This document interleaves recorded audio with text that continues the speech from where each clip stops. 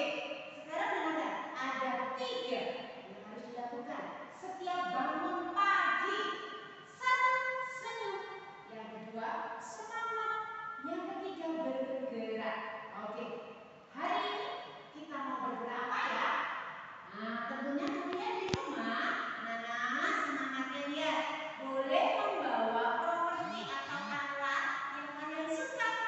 Boleh seputar